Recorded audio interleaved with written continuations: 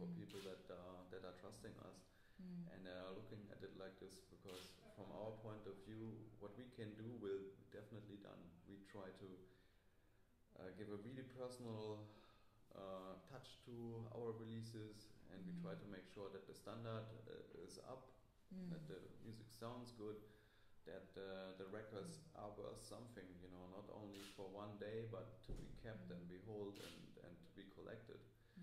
And this is I think, uh, one thing where we will not stop. And it encourages us when we when we get this this positive feedback from customers and we do, and uh, that's that's really a, good thing as it as it pushes us to. And, mm. uh, even even more in times when a lot of people go out of business or went bust, mm.